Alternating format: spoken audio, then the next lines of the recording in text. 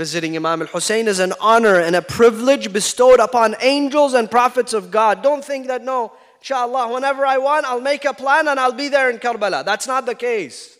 You have to be chosen, your name has to be written. And the hadith says a few things about the visitors of Imam al Hussein. Tonight is the night of Aza. I want to start my Aza. One that when you enter the grave of Imam al Hussein at any given time, there are 70,000 angels. How they look, they're described by the Imam. Allah has created 70,000 angels specifically for the grave of Imam al Hussein. They look pale, in a state of mourning, sadness, sorrow crying surrounding the grave of Imam al Hussein, writing down the names of his za'ireen. Not only that, praying, supplicating, doing istighfar. When you visit Imam al Hussein, they write your name. When you leave, Allah gives the thawab of the angels to you, the za'ir of Imam al Hussein. Take it. 70,000 angels praying, take it. Take their, take their thawab.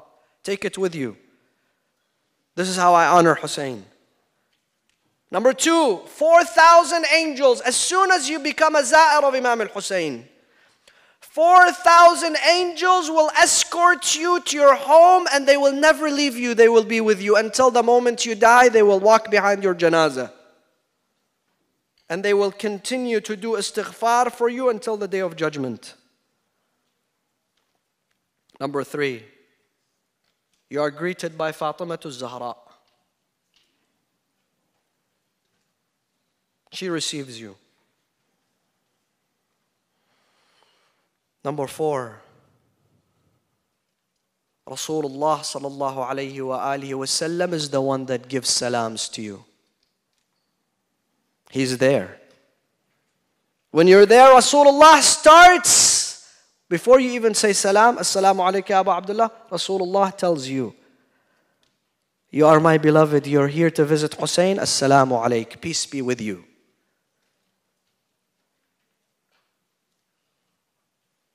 And more importantly, more importantly than anything else, you go and you connect with your Imam.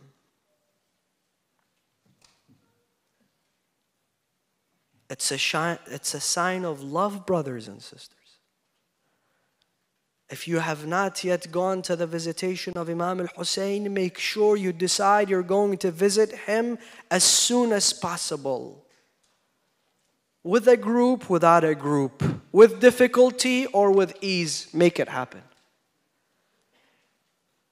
And the hadith say every penny that you spend in going to visiting Imam al Hussein will be repaid to you. And Allah says, the most important books of the Muslims say, Sunni and Shia, Allah blessed Hussein with a few things. One, جعل الله الشفاء في تربته. Allah has blessed the soil of Karbala that carries this grandson of Rasulullah, that shifa, Cure is in the soil of the grave of Imam al Hussein. Cure. I don't have time to give you stories. There are people in this gathering who have seen it firsthand what the soil of Imam al Hussein does to an ill person who is dying. It resurrects the dead. Number two, وجعل الشفاء وجعل وجعل استجابة الدعاء دعاء تحت قبته. and next to the grave of Imam al Hussein, dua is mustajab. You go to him, you raise your hands in dua there, your dua is mustajab. One day a person was going towards Karbala, one of the companions of the Imams. He says, where, where are you going there? He says, The Imam has hired me to go and pray for him there. So this man was confused. Why is the Imam hiring someone to go to Karbala to pray for the Imam? Isn't he an Imam? So he says to him, he said, Ya Imam, why did you have to hire someone and send him to Karbala? Why don't you just pray for yourself?